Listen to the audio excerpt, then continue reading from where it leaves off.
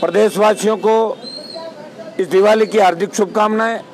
दिवाली का पर्व समस्त प्रदेशवासियों के लिए खुशियों की बौछार लेके आए। हर घर के अंदर उजाला हो और अंतिम छोर पर बैठा गरीब आदमी की भी सत्ता में भागीदारी हो। ऐसी शुभकामनाएँ मैं राजस्थान के प्रदेशवासियों को मेरी तरफ़ से देना चाहता हूँ और राष्ट्रीय लोकतांत्रिक पार्टी की तरफ़ से भी समस्त समस्त प्रदेशवासियों को मेरी शुभकामनाएँ।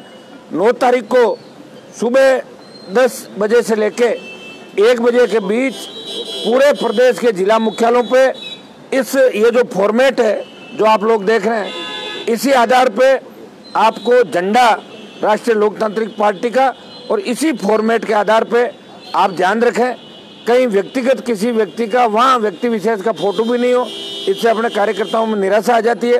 एक ही झंडा और राष्ट्रीय लोकतांत्रिक पार्टी इसके चुनाव चिन्ह के बैनर तले पूरे प्रदेश के जिला मुख्यालयों पर आपको कार्यालय जनसंपर्क कार्यालय खोलने और उसके बाद विधानसभा क्षेत्रों के अंदर कार्यालय खोलना। नौ तारीख को दस से लेकर एक बजे के बीच पूरे राजस्थान के तमाम जिला मुख्यालयों पर आपको अपने अपने स्तर पर कार्यालयों की व्यवस्थाएँ भी करनी है।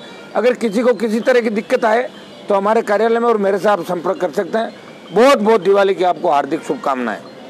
भारत माता की जय।